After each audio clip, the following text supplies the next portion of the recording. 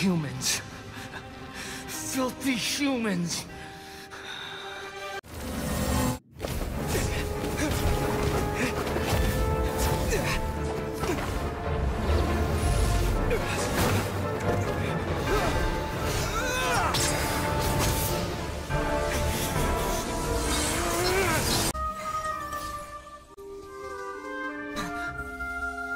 No!